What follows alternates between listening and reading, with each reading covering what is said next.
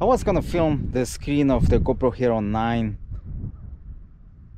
to illustrate how I set my GoPro 9 for this photo time-lapse shoot? But instead of doing that I will tell you what settings I'm going to use. For output I'll use raw photos. That way I can manipulate those photos in Lightroom when I'm done with this shooting so I'll use an interval of 5 seconds.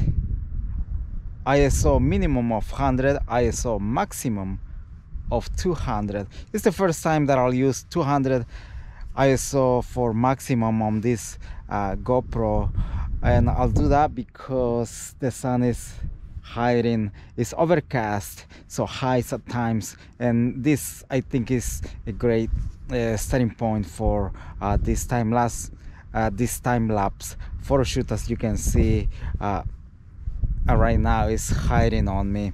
So I'll use interval of 5 seconds. Sharpness very low.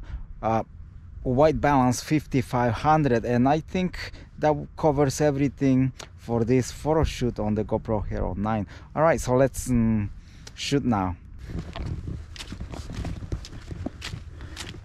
Alright the sun is going down and I just got done shooting the time-lapse photo with the GoPro Hero 9 and now I'm curious to see how these 20 megapixels photos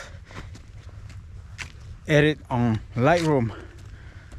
Alright that's it for my time-lapse photo shoot.